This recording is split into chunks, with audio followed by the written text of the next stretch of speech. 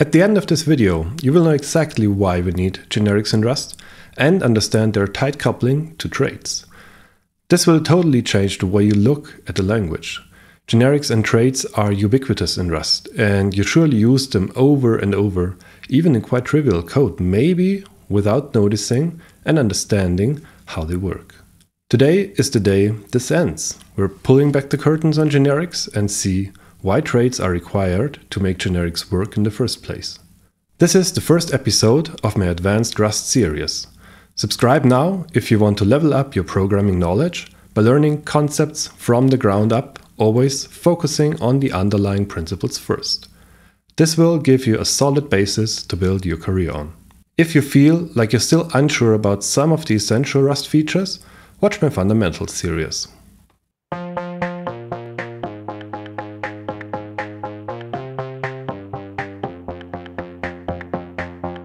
I'd like to introduce generics by means of an analogy, so follow me on this example here.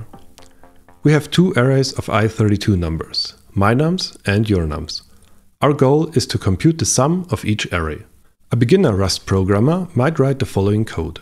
Initiate the sum with the first element, then loop over the remaining indices and add the number at the respective index to the sum. Although the solution is not particularly beautiful, it is correct and does the job. The problem starts when the programmer copies the same code to compute the sum of the second array. Code duplication is often at the root of unmaintainable, bug-ridden code and should be avoided in almost all scenarios. As a well-equipped Rust programmer who followed my Fundamentals series, you of course already know a way better solution to this problem. We need to factor out the algorithm into a function. In this case, the function sum of elements takes a slice of i32s and returns the sum as an i32. The algorithm remained exactly as it was. The function can then be called with both of the arrays, and the code duplication is cleaned up. This is nothing new to you, and I would have wasted your time if this example was over now. So let's take a step forward. A seemingly trivial expansion of our task comes in. We would also like to compute the sum of an array of i64 numbers. The algorithm for this will be the exact same, however, the Rust compiler does not play nice with us. We are not allowed to call our function, that is set to operate on i32s with our array of i64s. Now, there surely must be a better solution than copying the function and adapting it to i64s. If there only was a concept to tell the Rust compiler that we want this function to work on any type, instead of only i32s. In fact, there is, and this concept is called generics. And lo and behold, the code we wrote out of pure despair is almost syntactically correct. At first, by convention, the generic type is oftentimes called T instead of any type. You could leave the any type though, if you really wanted. And second, we need to tell the compiler that our t is now a placeholder for any type. Without this, Rust would complain that t is an unknown type and the program would not compile. We introduce the generic type t in angled brackets right after the function name. This makes sum of elements a generic function over the type t and it can now be called for both i32s and i64s. And not only that, we can use this function to sum the elements of any array. I hope this introduction made it very clear that the main use of generics is to avoid code duplication, just like with functions. However, generics work on another level of abstraction. While functions allow us to use the same code for different data of the exact same type, Generics allow us to use the same code for different data of various types. If you were eager to try out the code from the slideshow, you will probably already have caught that it doesn't compile. And this is not because our use of generics was wrong. Well, not the use of generics itself. The reason are two operators that are used inside the function. The assignment operator and the add and assign operator. Assigning nums at zero to our sum variable would either execute a copy for types that can be copied or a move. While the copy is okay, the move is illegal here because nums is an immutable reference that we cannot move out of. Because t could literally be any type, the compiler saves us from the illegal move out of an immutable reference by throwing an error. The second problem arises in the add and assign operator within the loop. We boldly assume that t has the ability to be added and assigned.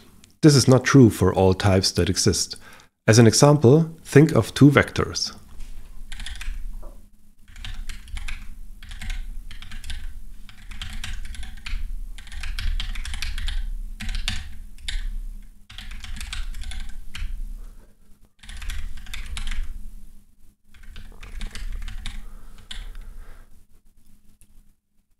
They cannot be added even with a plus operator, and thus add and assign is also not possible with vectors.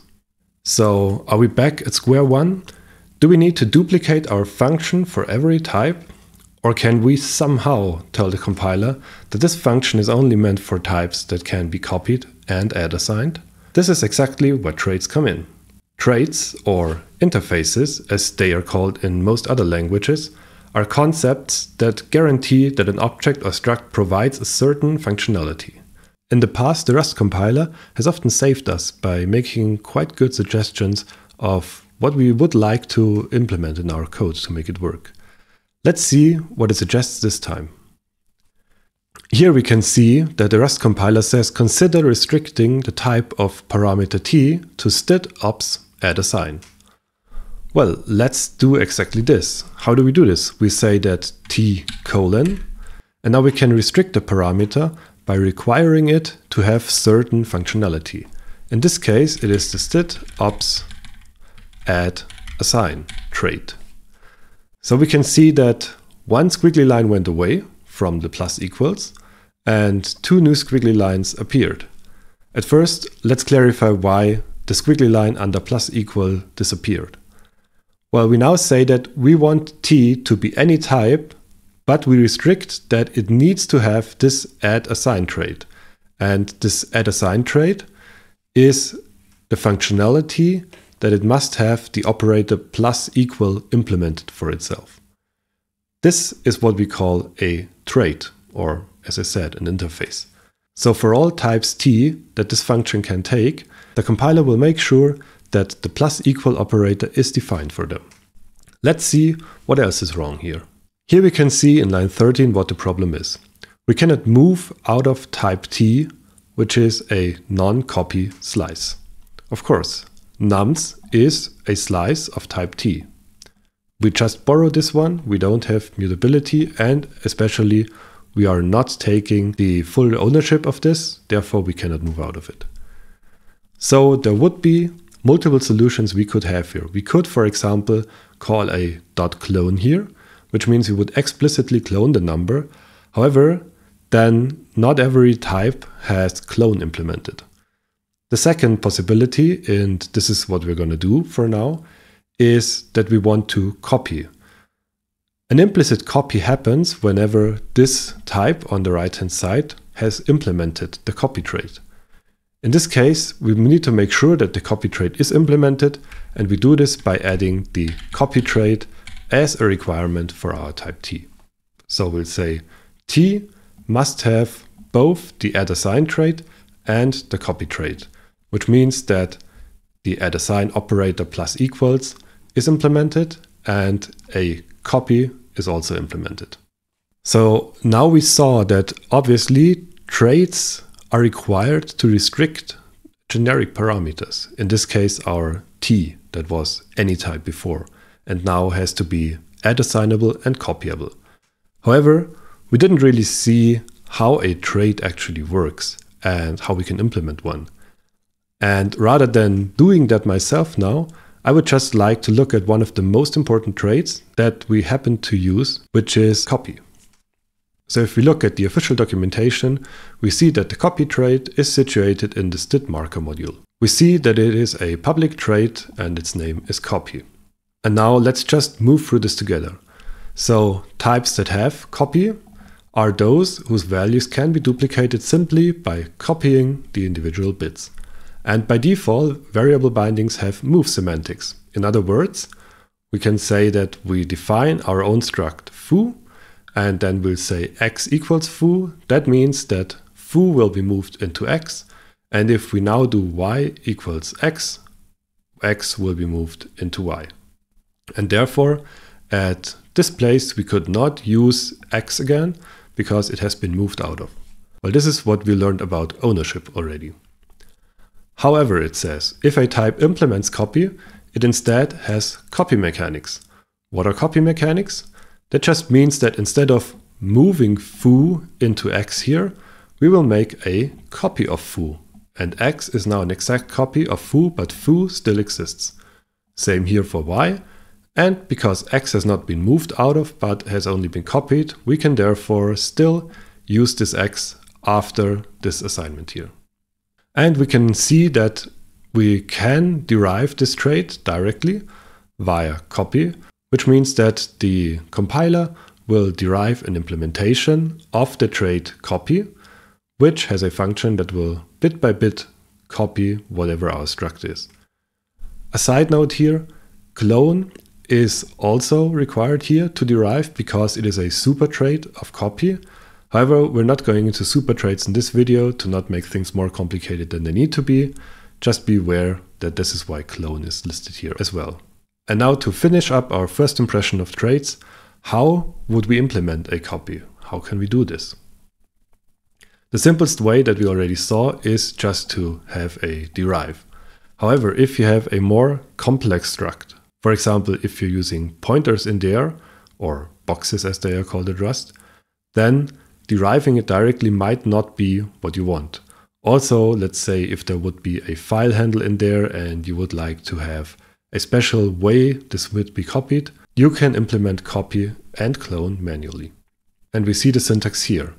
Our normal impl block would just be called impl mystruct, and then we would put any functions in there that we would like to implement. If you would like to implement a trait for a struct, you just say impl, then name of the trait, for and the name of your struct. This will automatically imply that you will have to implement all the functions that this trait defines. In this case, the clone trait only has one function, which is called clone, takes an immutable reference to self, and needs to return a self, basically, which in this case is the my struct. And in here, you can make an implementation that is as complex or trivial as you would like. Now, let me say one final word on how we call our sum of elements, generic in this case, over our normal sum of elements. Our sum of elements generic now has to decide which actual type will be replacing the t. In this case, the Rust compiler can infer that because we have only one parameter and this is an array of t, and in this case we will send in an array of i64, that t will be an i64. The Rust compiler will not be able to infer this type under any circumstances. Therefore, there's the possibility to explicitly provide the type as a developer. And you would do this by, after your name of the function, you would add colon colon and then angle brackets. And this is where you specify your type. In this case, it would be an i64 and you close the angled brackets. So in this case, adding this type here is purely optional but it might be reasonable in some cases to do this. By the way, if you add the wrong type here, of course the code will not compile because now it expects to get an array of i32s, but we provide an array of i64s. And to round this video up, I already said that we have been using generics all the time, maybe without knowing that. Why is that? Well, for example, look at a vector. if we use the macro vec to create this vector, it will automatically assume that those are i32s. And we see that here, the inlay hint says it's a vec of type i32, which means that vec is also a generic struct that has one type that we can choose. And in this case, the compiler decided to automatically infer that this is an i32. However, if we would say this is an f64, and we do this for everything. Suddenly, the compiler will decide that this is an f64 vector. And on top of that, we could explicitly specify the type here by just saying vec of, let's say this would be an i64, which would also be valid, and suddenly we have a vector of i64, all with the same syntax, all with the same struct, by means of generics. With this exemplary use of generics and traits, we merely scratch the surface of what is possible in Rust. Besides on functions, generics can be used with structs and enums. And traits really open the door towards polymorphism. There is so much more to learn that we will go over in the coming videos. Like and subscribe if you haven't done so already. I see you next time at Green Tea Coding.